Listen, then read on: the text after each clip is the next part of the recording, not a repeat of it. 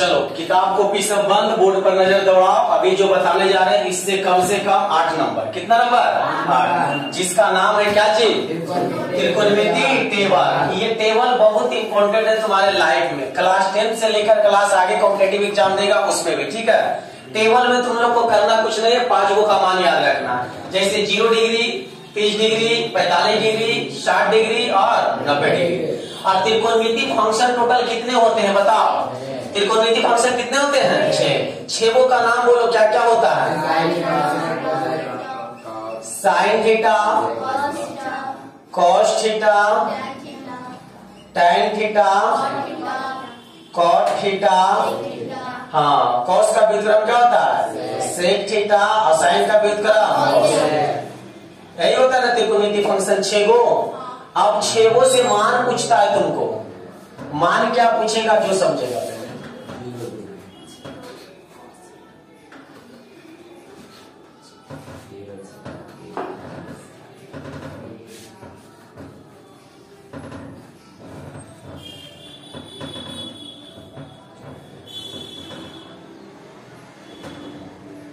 इसको बोलते हैं त्रिकोण त्रिकोणमितीय अनुपात। क्या बोलते हैं? त्रिकोण मितीय अनुपात। तो त्रिकोणमितीय अनुपात? क्या गो टोटल है? बोलो। छह। गो। जिसमें से मान पूछता है सबसे पहले यदि थीटा बराबर क्या डिग्री हो? यदि थीटा बराबर ज़ीरो डिग्री हो। ये पहला मान तुमसे पूछेगा। दूसरा यदि थीटा बराबर बोलो कितना होगा? तीस। डिग्री हो। पंद्रह नहीं बाबू इसमें रेयर एकदम इक्यूरेट वैल्यू इसके बाद बोलो, थीटा बराबर कितना पैंतालीस डिग्री। बोलो, अगला थीटा बराबर कितना थीटा बराबर साठ डिग्री। फिर बोलो, थीटा बराबर कितना नब्बे डिग्री। बस यही पाँच मान पूछता है। और खड़े तुम लोग को इतना तो बता सकता हूँ कि रटवा तो नहीं सकता हूँ कि फलना का कितना डिग्री होगा, फलना का कितना डिग्री होगा? बस इस तरह से कर सकता हूँ कि तुम खुद ये टेबल बना सकता है। रटवाना हमको नहीं है एग्ज़ाम हॉल में जाना, मैथ पेपर मिलेगा, उसमें सबसे पहले तुम टेबल का काम कर देना। कुछ नहीं देखना, क्वेश्चन के ऊपर टेबल बना देना, फिर टेबल, ये, फिर कोई टेबल लिख देना, क्योंकि इससे कम से कम आठ नंबर, अब बिल्कुल आसान है। आसान क्या जब चैप्टर पढ़ाएँगे, तब वहाँ ज़्यादा समझाएँगे।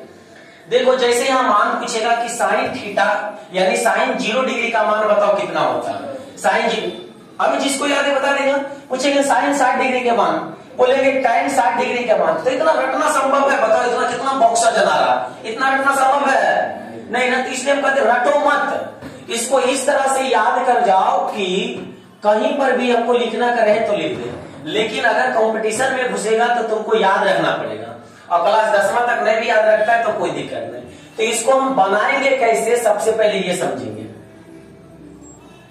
करना तुम्हें कुछ नहीं है। सबसे पहले काउंटिंग लिखने आता है। काउंटिंग काउंटिंग स्टार्ट करना है ज़ीरो से। कहाँ से? ज़ीरो से। यानी काउंटिंग लिखेंगे हम।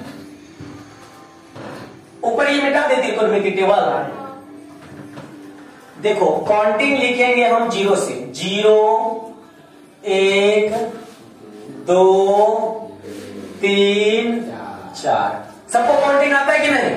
काउंटिंग आता है तो त्रिकोणमिति टेबल याद रहेगा। काउंटिंग नहीं आता है तो त्रिकोणमिति टेबल नहीं याद रहेगा। चार तक हो गया? और करना कुछ नहीं है। चार से भागा देते चलाना है। देखो, भागा दे रहे हैं चार से?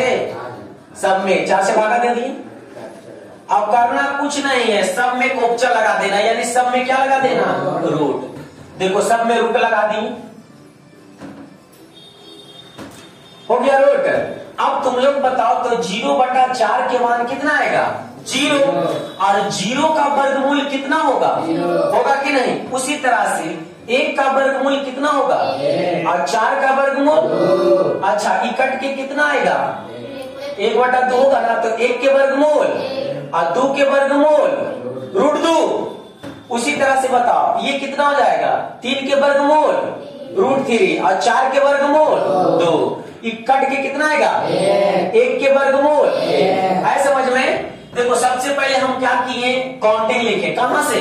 ज़ीरो से यानी ज़ीरो एक दो तीन चार। इसके बाद कितना से भागा दिए? चार चार से भागा दे दिए। इसके बाद क्या किए सब में? रूट लगाए। यानी क्या लगा दिए रूट? इसके बाद हम देखिए ज़ीरो बटा चार का वैल्यू ज़ीरो और ज़ीरो का वर्गमूल?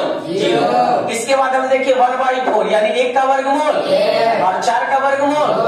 उसी तरह से दो बटा चार पहले इसको कट कर दिए। तो कट गया एक बटा दो एक का वर्गमूल? और दो का वर्गमूल इसी तरह से तीन का वर्गमूल और चार का वर्गमूल? बोलो ये चार बटा चार करके कितना आएगा? एक। का वर्गमूल? कोई दिक्कत बस सेम यही उतार दो। ये हो गया ज़ीरो ये हो गया एक बटा दो ये हो गया वन बाई रूट दो ये हो गया रूट थ्री बाई दो और ये हो गया कितना? एक। दिक्कत अब बोलो साइन ज़ीरो डिग्री के मान। साइन तीस डिग्री के मान। साइन पैतालीस डिग्री के मान। बोलो आगे साइन साठ डिग्री के मान। डिग्री में कोई दिक्कत है? अच्छा पता इसको सब रट लेता है। तो हम कहते हैं दसवां तक नहीं रटो कोई फ़ायदा नहीं। एडवांस दिमाग काय के लिए लगाते हैं। इतना छोटा सिलेबस है जो ही रटेंगे चार को क्वेश्चन हिस्ट्री में रट लेंगे। बढ़िया रहेगा कि नहीं? और ये वाला आएगा तो इसी तरह से बना के लिख देंगे। एगो लिखा दिया और सब अपने लिखा जाएगा। कैसे? है साइन हो गया अब अगर घुरा के लिख दो। ऐसे करके घुरा दो। बोलो वहाँ एक है। यहाँ एक है। यहाँ रूट थ्री वाई दो तो यहाँ लिखेंगे क्या चीज़? यहाँ एक बटे रूट टू है तो एक बटे रूट टू उन्हें घरे लेंगे तो कहीं ना कहीं पे तो मिक्स पॉइंट हो जाएगा। उसके बाद बोलो कितना होगा? हाँ, ये क्या हो जाएगा? कोई दिक्कत? तो बोलो अगर cos zero degree cos zero degree और कॉस तीस डिग्री अच्छा देखो जो कॉस तीस में वो साइन कितना में है? जो देखो तो साइन साइन तीस में जो साइन तीस में वो कॉस कितना में है? अब क्यों है ये भी तुम्हें आगे समझाएँगे जब पूरक पढ़ाएँगे तब। इतना तक क्लियर? बोलो टेन थीटा बराबर फॉर्मूला क्या जानता है? टेन थीटा बराबर साइन थीटा बटे जानता है कि नहीं? तो बोलो टाइम थीटा यानी इसका मान निकालेंगे? तो साइन थीटा बटा कोस थीटा यानी ज़ीरो बटा एक, यहाँ लिखेंगे तो बोलो ज़ीरो बटा एक कितना हो जाएगा? ज़ीरो। तो यानी टेन ज़ीरो डिग्री का मान। उसी तरह से बोलो इसका निकालेंगे तीस डिग्री का मान। तो साइन थीटा यानी वन बटे टू और रूट थ्री बटा टू। तो टू से टू। कितना आ गया। तो यानी इसका वैल्यू कितना आ गया? बोलो। वन बाई रूट थ्री उसी तरह से उसका निकालो। साइन थीटे बटे कॉस थीटा। तो वन बाई रूट टू बटा वन बाई रूट टू बोलो कट के कितना आया? एक। यानी साइन टेन पैंतालीस डिग्री का वैल्यू? एक। आगे समझ में? इसके बाद आगे बोलो क्या लिखेंगे? Root three root three by two बटा वन बाई टू टू से टू। क्या सिर्फ़ बचा? रूट थ्री यानी टेन साठ डिग्री के मान। रूट थ्री अब इधर आप साइन एक अब बटा में क्या लिखेंगे? तो बताओ किसी भिन्न का अगर हर ज़ीरो तो उसका वैल्यू इनफिनाइट इसी को हिंदी में बोलते हैं अपरिभाषित। क्या बोलते हैं? यानी इसका वैल्यू क्या गया? इनफिनाइट अरे एक बट्टा ज़ीरो का वैल्यू क्या चीज़ और ज़ीरो बट्टा एक का वैल्यू ज़ीरो। हाँ ये सब समझ में आना चाहिए। आगे देखेगा बोलो कॉट थीटा का फॉर्मूला क्या जानता है तुम लोग? कॉट थीटा कॉस थीटा बटे साइन थीटा इस पर नहीं भी निकालो तो सीधा उलट दो। साइन का पूरा क्या बताए कॉस साइन को ऐसे लिखिए अब कॉस को ऐसे घुरा दिए। टेन के ऐसे लिखिए अब रिकॉर्ड में घुरा दो। क्या करो? घुरा दो। तो बोले यहाँ क्या हो जाएगा? यहाँ क्या हो जाएगा? यहाँ क्या हो जाएगा? यहाँ क्या हो जाएगा? और यहाँ क्या हो जाएगा? हो गया। कोई दिक्कत है? अच्छा अब आगे देखना। साइन का व्युतक्रम पहले साइन का व्युत्क्रम क्या होता है? साइन का व्युत्क्रम कौशल और कॉस का व्युत्क्रम तो व्युत्क्रम मतलब क्या होता है? उल्टा. तो बोलो कॉस का व्युत्क्रम से यहाँ ये दोनों को देखना। तो बोलो कॉस थीटा जी, ज़ीरो डिग्री के मान एक तो सेक थीटा ज़ीरो डिग्री का मान कितना होगा? इसका व्युत्क्रम कर देंगे। तो बोलो व्युत जैसे एक का व्युत्क्रम पूछेंगे तो क्या लिखेगा? अब बोलो एक का व्युत्क्रम लिखेंगे तो वन बटा? वन बटा? तो इसका व्युत्क्रम करेंगे तो एक ही ना रह जाएगा।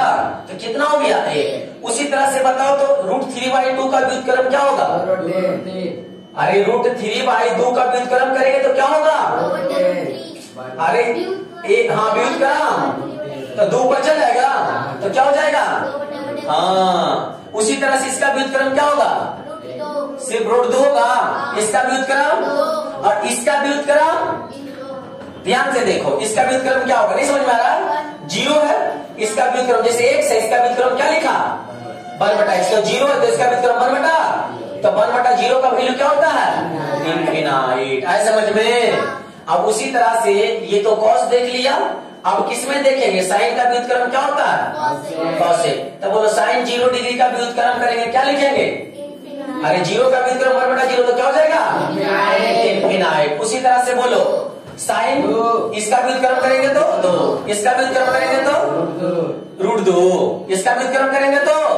रूट दो। और इसका व्युत्क्रम करेंगे तो? By root three. और इसका व्युत्क्रम करेंगे तो? ए। कोई दिक्कत है? समझ में आया?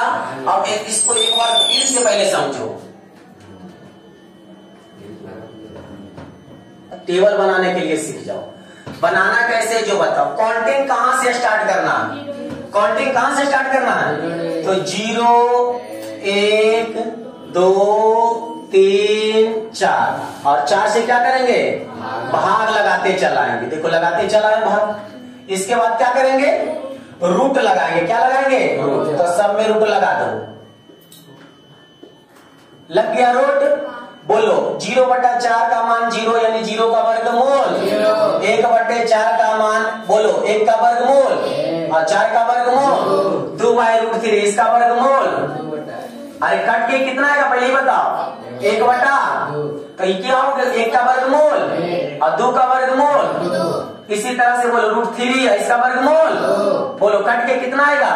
और एक का वर्गमूल सब लिख दो यहाँ पे अटैच ज़ीरो, एक बटा दो, one by root two root three by two एक। अब इसी को घुमा के लिख देंगे क्या करेंगे? तो घुमा इसको। क्या होगा पहले? वन। इसके बाद फिर? Root three by two. इसके बाद? One by root two. उसके बाद? उसके बाद? हो गया। अब हम टेन थीटा का फॉर्मूला जानते हैं। तो टेन थीटा बराबर क्या होता है? बोलो तो। साइन थीटा बटे कॉस थीटा तो करो बटा? ज़ीरो बटा एक। ये बटा ये क्या हो जाएगा? वन बाई रूट थ्री होगा अरे बटा करेंगे टू से टू कट जाएगा वन बाई रूट थ्री इसको करो। वही बटा वही कितना आएगा? बोलो ये कट के कितना बचेगा? और वन बटा ज़ीरो क्या होगा? अब कॉट में घुरा के लिख दो तो क्या हो जाएगा?